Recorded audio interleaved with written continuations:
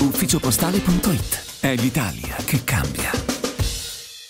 Non decolla la campagna vaccinale anti-Covid nel Pescarese con poche somministrazioni rispetto alle disponibilità e alle previsioni e anche ora che sono disponibili sieri che coprono contro le sottovarianti di Omicron, compresa l'ormai nota Omicron 5 diventata dominante negli ultimi mesi, la situazione non è cambiata. Dottoressa Graziella Soldato, direttore dell'unità operativa complessa igiene e sanità pubblica dell'ospedale di Pescara, parla dei nuovi vaccini e illustra la situazione. Sì, eh, come in ogni campagna vaccinale e soprattutto per la vaccinazione anti-Covid eh, si attendeva una migliore risposta per le dosi successive alla terza.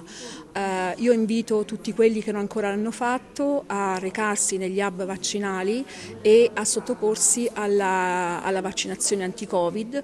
Oggi abbiamo dei, ceppi, dei vaccini con i ceppi aggiornati con le sottovarianti di Omicron che offrono una protezione ottimale contro le infezioni da SARS-CoV-2.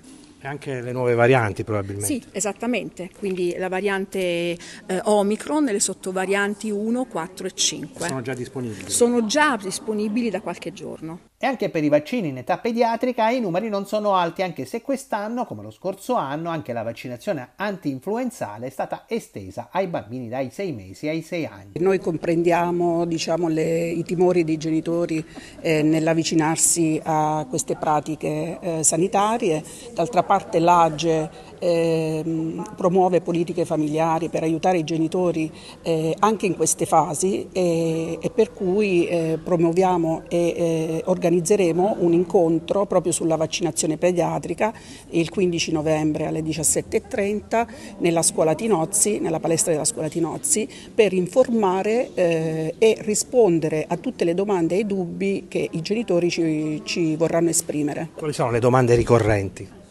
Eh, la reazione eh, al vaccino, quale può essere, ehm, se è opportuno eh, praticare una, eh, un vaccino esavalente in un bambino piccolo, eh, se ci sono delle reazioni allergiche. Ehm, gli effetti collaterali che nel tempo i vaccini possono dare e questi sono più o meno i dubbi che tutti i genitori eh, hanno nell'avvicinarsi al vaccino e anche la, la paura della risposta immediata che, che può essere quella eh, allergica per esempio.